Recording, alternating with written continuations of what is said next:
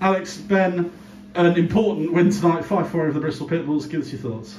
Yeah, obviously delighted to get the two points. Credit to Bristol, they're a great young team and obviously mixture of some real experience uh, and some great young talent, which is great for English ice hockey. But um, I think we started well and then they came back with a big push and and we could have gone two ways. You know, after the five defeats on the bounce, we could have, you know, our heads could have dropped after the second, but I think we came back and played really well in the third.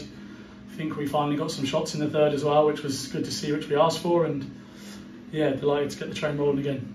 We said obviously the second period was a bit of a turning point. Bristol really put their foot down, came out in the end with a 4 3 lead. What was said in the change room between the second and third, obviously? Can't say that over the, uh, uh, can't say that on a, on a video, but we, but it, but it was it was a firm you know of our expect of, of the expectations. I think it was some home truths. I think. Yeah, I mean you know we, we, at the start it was more about trying to get guys a bit more confident and really you know um, feeling feeling good and at the end of the second we, we completely forgot it. You know in the second period we weren't doing what we'd asked.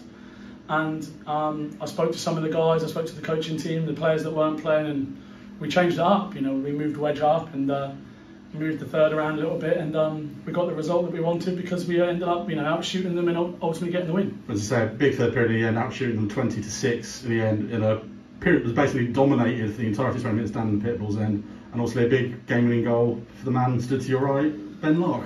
Yeah, it's becoming a habit, isn't it, a little bit? Um, yeah, we worked really hard in the third period. We generated our own chances. I think we solidified our own zone. We worked on our face defensive face-offs, and yeah, the goal again, as I said last time I had to do this, was Martha calling that everyone just be calm, and we just made some really nice plays. Actually, we could have scored three or four at one point, and yeah, it was a bit of a muffin, but I'm so glad it went in.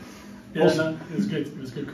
Obviously, you're known more for your shot blocking and penalty killing side of the game. Um, it's always nice to see on the game sheet. Obviously, as Alex said, after five straight losses, yeah. as a D man, obviously, how important is it just to finally eke out a win?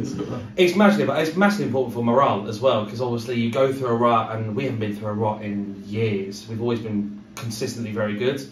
Um, so this is really good, and we're going to take it into tomorrow. You know, we've been there, we've dominated at times, and last time we were there, we won on the overtime. So they're going to have a point to prove, but we're coming with confidence. So very excited. Uh, ben touched on Alex. Uh, the Chelmsford Chieftains tomorrow. Obviously, last time, arguably, possibly the most memorable victory the Devils have ever had. You getting a game time goal at 59-59 and all that.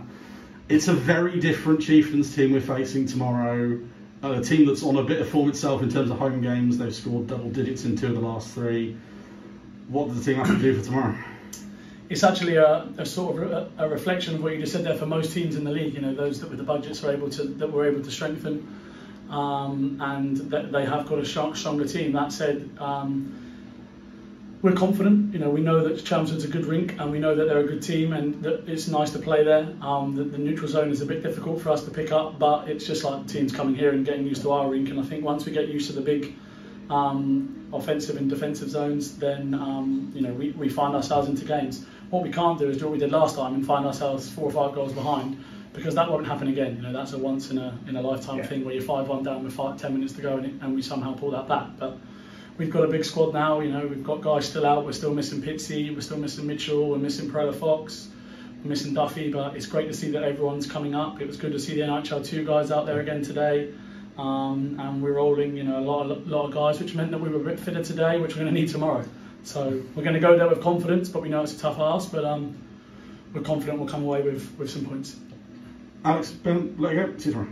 Thank you so much.